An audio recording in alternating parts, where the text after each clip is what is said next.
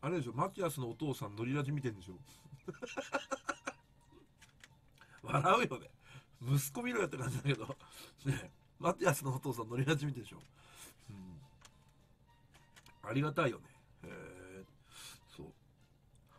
なんか俺の名前出してたみたいだけど。親も配信始めた。完全にあの関慎吾のとこのお母さんじゃん。そう。関慎吾親子も配信してるもんね。この前お母さん誕生日だったけど。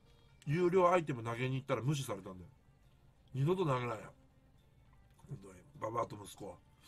ねえ金欲しい金欲しいって言うからよ。有料アイテム投げに行ったのによ。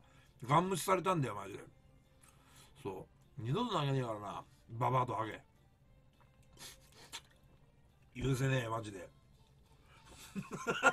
ねえどこよりも小じきさ欲しがってっからよ。お前一発だけなのによ。普通に無視しやがって。許せねえかんなまあ俺が閉じた後拾ってくれたかもしれないけどね。わかんないけど。うん。なんか12分待ってたんだけど。え小学だと読まれないの？マジで？いやそもそも読まない人って分かってたら別に気にしないけど読むタイプの人で読まれないのへこまない？みんな。例えばもう全部読まない人とかもいるじゃん。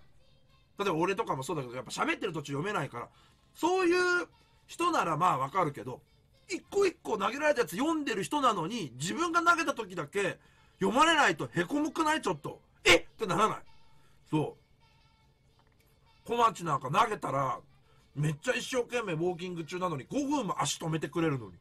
そう。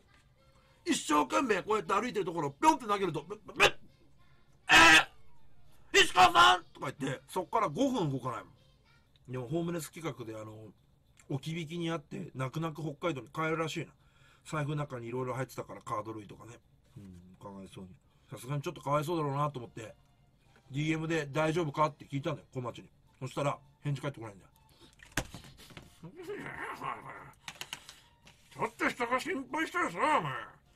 返すよお前。なん。でだよ。うるせえよお前。ノンスタイルの井上は返してくれるけどね。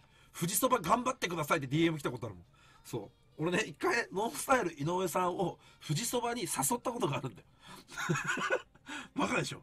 そう。一緒に富士そばやりませんかとか言って富士そばに誘ったんだよ。そしたらいやちょっとまあ事務所の都合上まあね吉本ね。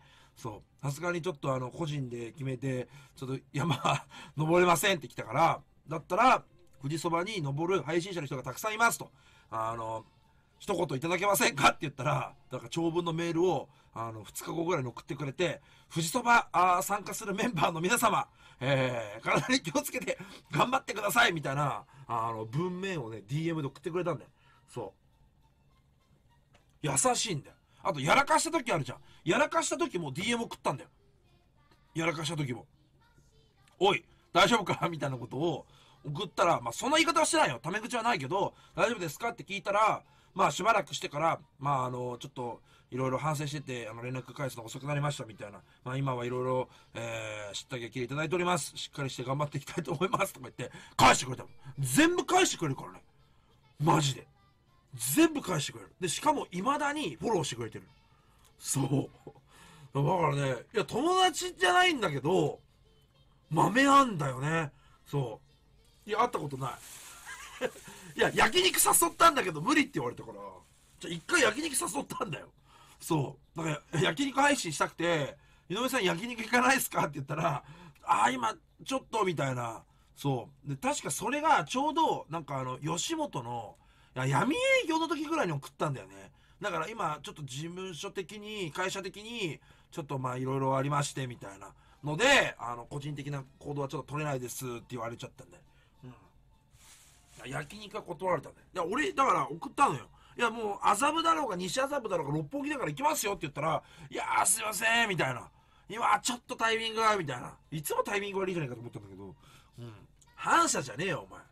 な、反社会人かもしれないけど、俗に言う反社じゃないわ。なあ。